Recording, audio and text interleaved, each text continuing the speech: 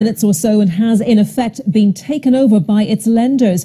Debenhams has 166 stores which will initially continue to trade, although about 50 branches had already been earmarked for closure in the future.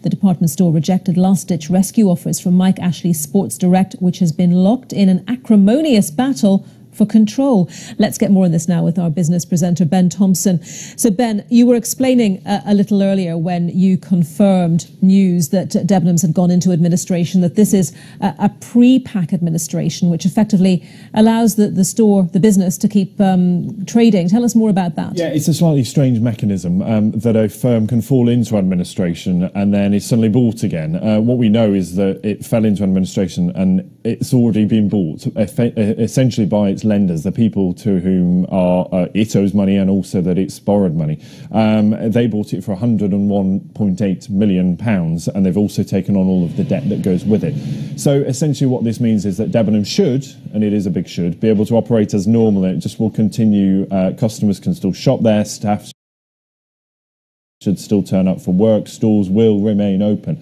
and this allows firm to sort of reset, get itself back up and running uh, by shedding some of its debts. Um, what they want to do is close 50 stores, as you said. They've announced that earlier this year. That plan is still on track.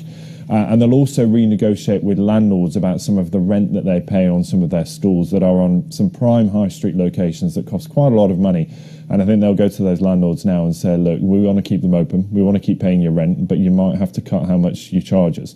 Uh, so those negotiations will now begin in earnest.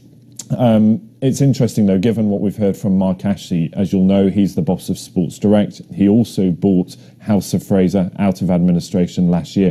He was keen to offer £200 million to pump money into Debenhams to try and give it a lifeline. But there was a big condition on that, and that was installing him as the yeah. boss, as